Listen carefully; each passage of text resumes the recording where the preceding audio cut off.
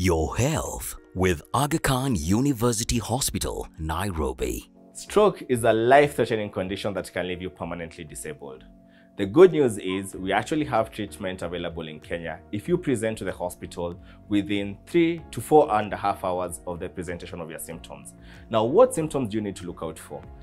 Facial abnormalities, abnormal speech, weakness in any of your arms or legs, acute confusion, or dizziness and inability to walk.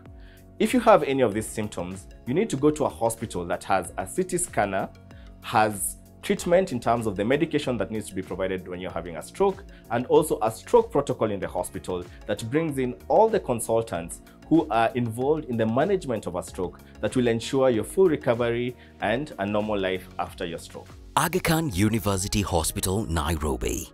World class care. Here and now.